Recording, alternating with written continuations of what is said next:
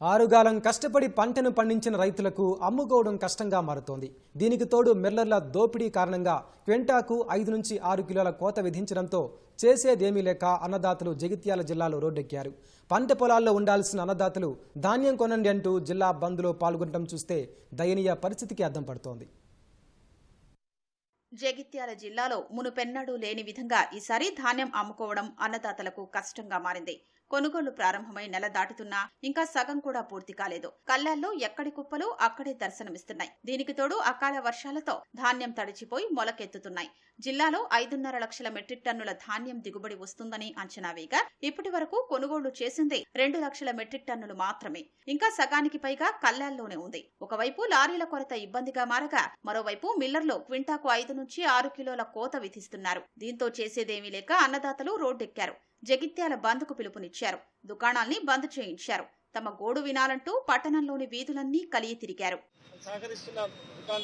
కూడా అందరూ స్వచ్ఛందంగా పనిచేస్తారు మేము అంటే ఎందుకంటే రైతుల పక్షాన రైతులంతా పరితోషం పడుతున్నారు. నిన్న రాత్రి కూడా పెద్ద ఎత్తున వడగాల్పులతో పెద్ద ఎత్తున ఉన్న వడ్లు ఎక్కడెక్కడ కళ్ళ నాన్ని అధికారులు వెళ్ళి కల్లాల కాడికి వెళ్ళి రైతులతోటి రాపించి కట్టుకుంటున్నారు. రైతుల ఇష్టపూర్వకంగా నలభై నలభై మూడు కిలోలు తూకం ఎత్తున్నారట అయ్యా అధికారులారా మీకేమైనా కొంచెమైనా ఇంగిత జ్ఞానం ఉందా? మేమే మొత్తుకుంటున్నాం కదా మా కర్షకుల మెడ పైన కత్తి పెట్టి నలభై మూడు కిలోలు నలభై మూడు కిలోలు తూకం పెట్టే విధంగా చేస్తున్నారు. దీనిని అరికట్టి మిల్లర్ల దోపిడీని అరికట్టి మా రైతులను రక్షించమని వేడుకుంటున్నాం. జిల్లాలో నాలుగు వందల పదమూడు కేంద్రాలు ఏర్పాటు చేశారు. ఇంత పెద్ద మొత్తంలో కేంద్రాలు ఏర్పాటు చేసినప్పుడు కేవలం పక్షం రోజుల్లోనే కొనుగోళ్ళు పూర్తి కావాలి.